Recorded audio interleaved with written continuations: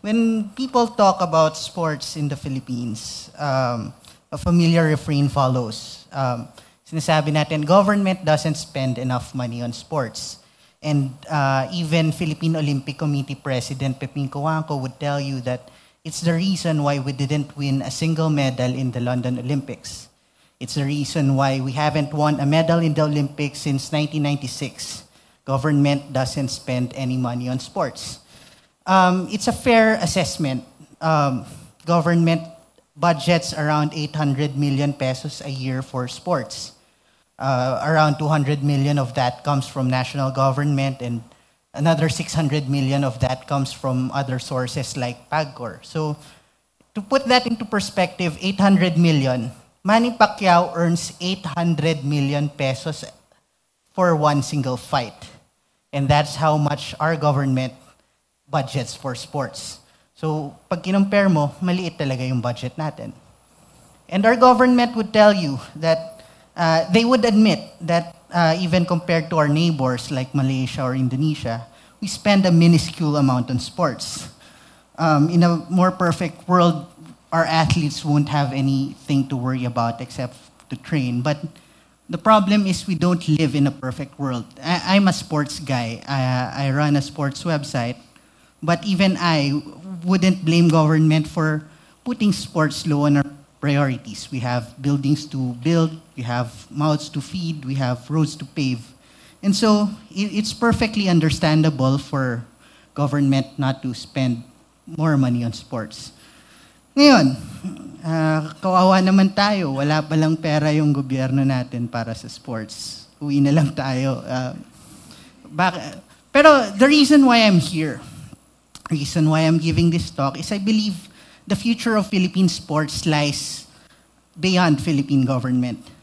In fact, uh, the most successful sport sa Pilipinas has thrived for the longest time even without government support. Uh, that sport is basketball. Siguro some of you are, are saying, teka, um, bakit basketball? Di ba puro pandak tayo? Bakit yun yung paborito nating sport. But you have to understand that because of our culture, it's sort of like telling people not to be into professional wrestling because it's fake. It doesn't matter. And hindi na hindi na issue yung height dun sa pagmamahal natin sa basketball. I'd also have I, I also have a bone to pick with the argument na hindi tayo successful sa basketball. In fact, it's our most successful sport in the Southeast Asian Games. It's the one sport in the Southeast Asian Games where our players could show up and would win gold medals. Yung mga player natin sa SEA Games, kikindatan lang natin yung kalaban natin, panalo na tayo. It's not the case in football where our team placed last in the SEA Games last year. It's not the case in even boxing. Uh, our best champion boxers lost to their counterparts from Thailand even billiards with all our great players, it was actually an Indonesian player who won gold medal in the billiard competition uh, last year. Even baseball, uh, we won gold medal in baseball, but we had a tough test. Compare that with basketball where we beat opponents by 40.8 points per game. So, kinindatan lang talaga natin yung mga kalaban, nanalo na tayo. Beyond medals, basketball is our most successful sport because it's the one sport where uh, it works. We could see how good we are at basketball by how we develop our athletes, uh, by how we treat our athletes. The, the very best basketball players are identified at a young age, and uh, they're given scholarships. People care about their nutrition people bend over backwards so that they're able to balance their academics with their training. And the government doesn't have to spend a single dime for that. Now, it's fair to say that we focus too much on basketball. To a certain extent, I agree. Um, right now, if there's an athletically gifted kid in the provinces, um, more often than not, he'd go into basketball just because there are more opportunities in that sport. Um, but we shouldn't blame basketball for taking a bigger slice of the pie because The problem is there isn't much of a pie to begin with. Um, a couple of years ago, the Azkals made a Cinderella run to the Suzuki Cup. Um, it's the top competition in Southeast Asia, and apart from the fact na pogi sila, um, they, they, it, it was a historic victory. So people were falling all over themselves to be close to them. And suddenly, sponsors were um, giving them money because they still had to make a trip to Indonesia to compete in the semifinals, so they needed money. And when they went home, a lot of people wanted to help out, and one of them was Manny Pangilinan. Um, he pledged 1 million pesos for the Ascals for, for their trip to Indonesia. Now, sabi ng mga tao, wow, galante naman ni MVP, 1 million pesos, parang barya lang. But when you come to think of it, that year, the PLDT wireless group spent 4 billion pesos on marketing and promotions alone. And more likely, yung 1 million pesos that, that went to the Azkals, that came out of that budget. And chances are, if you're working for PLDT, it was a matter of uh, realigning funds so that you'd have some money to give to the Azkal. Siguro, um, sinabi, sinabi ng mga tao sa PLDT na baba muna natin yung, um, yung billboard ni Marian Rivera o billboard ni Robin Padilla para may pang-abot tayo sa ASCALs. Now, I, I probably shouldn't have made uh, Manny Pangilinan my example because the sports site that I, I work for is owned by him and I might get fired. Um, sa lunes, dear Mr. Tordesillas. Um, anyway, but, but beyond that, um, he's, he's not uh, the best example here because he's actually one of the few businessmen we have who spends his advertising money on sports. So a big part of that 4 billion pesos that PLDT spends go to sports. Philippine companies, uh, sabi ng Nielsen, uh, spend about $4 billion a year on advertising. That's 160 billion pesos but only about 5% of the top 1,000 companies spend it on sports sponsorships. 5%. Companies would rather spend their money on telenovelas and variety shows and whatever else rather than spend them on our athletes, with a notable exception of basketball and more recently, Manny Pacquiao and the Azkals. Basically, what these companies are saying is that other sports aren't worth supporting because they're not popular enough. But in fact, over the years, we've had produced so many superstars in different sports. Stars like Onyok Velasco. Um, he, um, for those too young to remember, he was the last Olympic medalist for the Philippines. He won in 1996 and he became so popular, in fact, that he starred in a movie about his own life. Um, even before Manny Pacquiao, we've had very popular professional boxers. This was uh, Rolando Navarrete. Uh, he won the world championship in 1981. He became so popular that he starred in a movie about his own life. Um, sabi niyo, baka sabihin niyo, puro boxing. Lydia De Vega, um, the golden girl of Philippine athletics, broke all kinds of records in the 80s, fastest woman in Asia, became so popular, you wouldn't believe it, she starred in a movie about her own life. Um, chess, even chess. May, may superstar tayo sa chess. Eugene Torre, at age 22, became the first grandmaster in Asia, in all of Asia. He became so popular, you wouldn't in fairness to him, the movie wasn't his own life. Kalove team niya dyan si Vilma Santos. Okay. So what these athletes have in common, apart from bad acting, um, is that they're champions. We're not afraid to glorify our champions. We're not afraid to show love for champions. So much so that people actually think we'd see bad movies about our champions. But it also underscores our biggest problems when, we come, when it comes to sports. We don't love our athletes until they become champions. Uh, so our, when our athletes stop being champions, our love dies along with them. The only sport where we give our love unconditionally, win or lose, is basketball.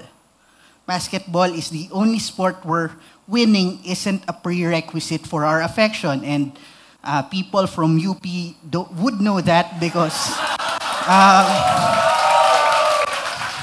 mahal, mahal pa rin natin yung fighting Maroons kahit hindi tayo nananalo. Okay. But, but that wasn't always the case. In fact, kaya sumikat yung basketball, the reason why it grew popular in the first place um, is because we started winning. We were champions in Asia, we were fixtures in the Olympics, yung mga panahon nila Kaloy-Loy Saga. And even in the PBA, the, the most popular teams during the early years was Crispa and Toyota. And the reason why they got all the fans was because they won all the championships. But things changed along the way. And today, that's not the case anymore. And people would say that it's a long process, but there are stories um, about people like Robert Jaworski who helped change that culture. Now, in 1985, Jaworski was playing for Ginebra, and the team was playing against um, the national team. See, back then, bawal pa yung dream team, yung mga professionals na lalaban sa international. So what happened was, um, there was a separate national team apart from the players in the PBA. And that national team was managed by Danding Cojuangco, who was very, very close to Mr. Marcos. And so he, he pulled out all the stops for that national team. So he recruited the best college players, players like Hector Calma and Allan Caidic and uh, Samboy Lim. And hindi pa siya kontento ron. He recruited Americans to play for the national team. He, he naturalized players like uh, Dennis Still and Jeff Moore to play for the Philippine team. And his most important move was to hire an American coach, a great NCAA coach in the US named Ron Jacobs, to run the program. And so, to, to get the best training for the national team, uh, Cojuangco asked the national team to play in the PBA, to play against players like Robert Jaworski and Francis Arnaiz, to get their seasoning there. And so, given all these resources at, at the disposal of this national team, they were favorites when they started playing in the PBA. And in one game in 1985, Northern consolidated against Ginebra, big, big favorites yung national team. Playing coach si Robert Jaworski nun. Tapos, nag-start yung game. Usually, Jaworski comes into the game in the second quarter. Game started, NCC took a big lead. And then even when Jaworski came in, hindi nila mahabol kasi galing talaga nung, nung national team. Then in the second quarter, Jaworski ate an elbow from one of the naturalized players and his mouth was busted open as it to go. And Ultra, there were 10,000 people at Ultra, fell silent because they couldn't believe one of the top basketball players was being manhandled like that by one of the American players. And so Jaworski was rushed out of the court. And he was brought to Medical City to get treatment for his busted up lip.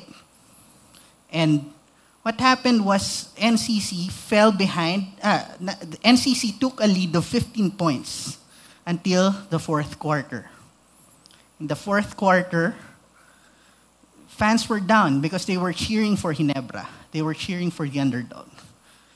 And Jaworski came back into the game in his jacket, took off his jacket, and his mouth was all stitched up. And he came into the game with eight minutes left, and Ginebra was down 15 points. And he led Ginebra to a, a comeback victory over the national team. And people say, even though he scored only three points that night, he was the reason why the team won. And people would say that night was the night that Never Say Die was born. Today, it's, it's uh, common knowledge na pag sinabing Jaworski, pag sinabing Ginebra, never say die. Now, the funny thing about that story is that Ginebra didn't end up winning the championship that conference. Um, what happened was uh, it was NCC who, who ended up winning the title. But Jaworski proved that you don't have to win trophies to be a champion. And if we learned something from this talk so far, it's that Filipinos love our champion. Now, the difference between basketball and all our other sports is that we tell stories in basketball that we don't tell for other sports. We help people become champions even though they, they don't have trophies. And I think um, we can change that. Uh, I work in media, and part of the reason what, what we're trying to do is to tell stories so that we have champions even though they, they don't have trophies yet. But it's not just up to me, it's also up to you. With social media and the power of the internet, you can also help tell stories. And there are so many interesting stories out there that we have the opportunity to tell. Stories like that of Jonesa May Sustituedo. She's a She's a 13-year-old girl from Iloilo. She broke middle distance running records in Palarong Pambansa. And what's so remarkable about her is that um, she doesn't wear shoes when she runs. Uh, she's been breaking all these records running barefoot. But her father is worried about her. Uh, he thinks that she's going to end up getting injured if she keeps uh, running barefoot. So in her last race in Cebu, she wore shoes. And she said it was so uncomfortable, it caused her to finish second for once. Now, I don't know about you, but hearing that story, aren't you at least curious about what happens next? Don't you want to check up on what happens to Jonesa? Not even as a fan, but just, just you know, just to uh, tell the story. Um, just to complete the story, because all we want is to be told a good story. And then there are stories like that of Coach Rudy Del Rosario. Um, he looks like a reggae frontman, but he used to be a star for the Philippine national football team. Um, he led actually the UP Maroons to a title back in the 80s, and he was a member of the Azkals before they were the Azkals. These days, he runs the Jeepney Football Club. Uh, it's a football club for homeless children and street children, and they go around Metro Manila teaching football to people. They're also the team that is in charge of um, organizing the team to the Homeless World Cup. And the Homeless World Cup is a, an organization that aims to change lives of homeless people through football. So he's been doing that. And a couple of months ago, we got a call from Coach Rudy saying that there was a problem with the, the foundation that runs Jeepney Football Club. And it turned out that there was, there was a chance that their stint to the Homeless World Cup this year is in peril. So they were lacking funds. So what we did at media is that we wrote about him. We retold his story. And his story resonated. It got a lot of Twitter shares, it got a lot of Facebook shares, to the point that sponsors actually started contacting him and telling him, uh, asking him how they can help. So this is just one example of how stories can help out sports. Because the way I see it, it's either this, we tell stories compelling enough for people to get to to to grab their attention, or we keep whining about government not spending enough money on sports. So there are so many interesting sports stories out there, uh, just waiting to be told, and I hope you help us spread the word. Thank you.